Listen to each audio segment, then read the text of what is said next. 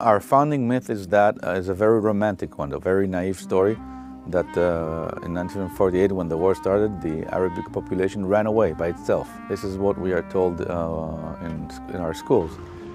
Lebanon, no. Soviet Union, yes. United Kingdom, abstain. The United States, yes. The resolution of the Dutch Committee for Palestine was adopted by 33 votes, 13 against.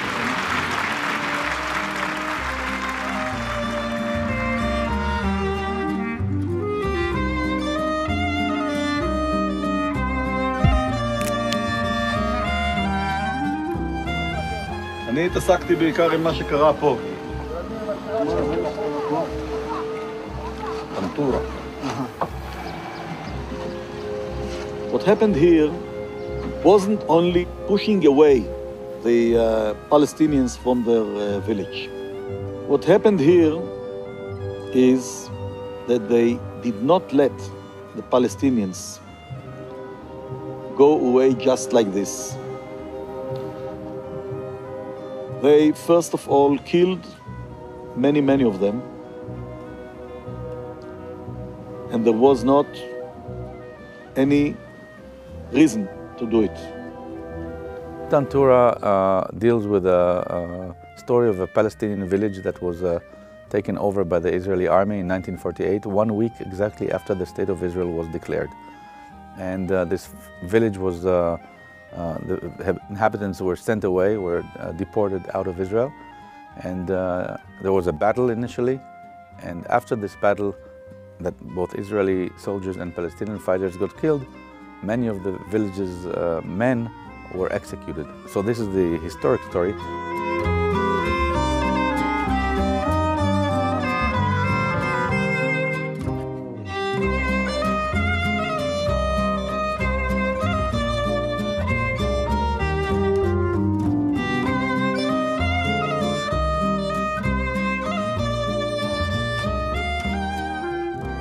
When I learned about the story of Tantura, and about the cover-up and about the silencing of it, I, it made me curious. And I started studying it and researching it by myself. Did it through contacting uh, Teddy Katz, who was the researcher that initially brought this story to the Israeli public eye.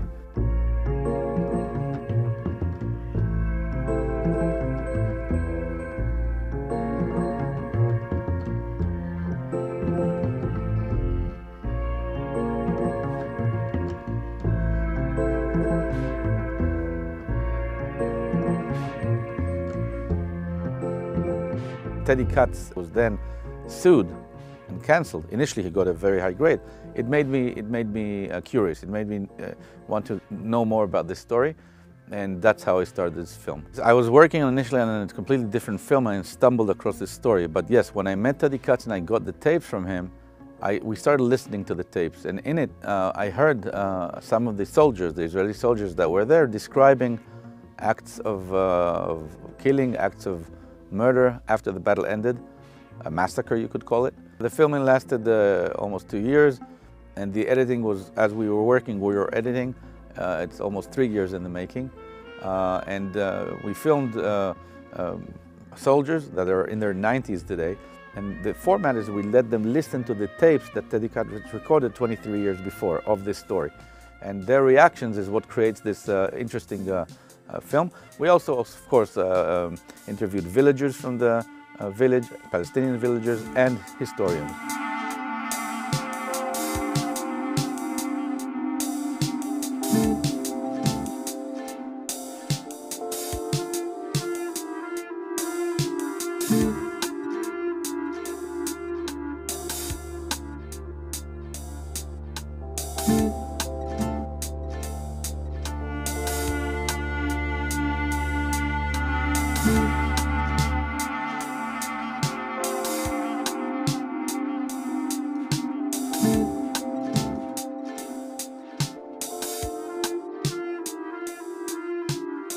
It's obvious from, uh, from when you studied that, that it was a pretty uh, organized thing to drive the Arabs out. And without a doubt, this is what happened. Uh, it was, an, uh, you know, it was a transfer of a population out of the borders of 1948. I think uh, um, when our founding father planned the Jewish state, they wanted to be a Jewish state, and they had the context at some point of the Holocaust uh, later on, and this is what brought this uh, thing to reality. Were there commands to massacre? Uh, not official ones, uh, but there were commands to drive the Arabs out. This is clear today, uh, even if they were given orally. And as when you drive a population of uh, three quarters of a million people out, when you erase 600 villages, some of the, in some of these cases you have violence, and in some cases you have massacres. You can't do it without it. Tantura was one of several dozens, probably, of massacres that happened, of different sizes. אתה לא ראית, אתה לא יודע, אתה לא מכיר, הכל בסדר. אני לא יכול. I don't think we, we can ever have a dialogue uh, without uh, recognizes the pain of the other side. And this is the main uh, um, idea of the film at the end. We must acknowledge the story of the Palestinians, which is our story, our history as well.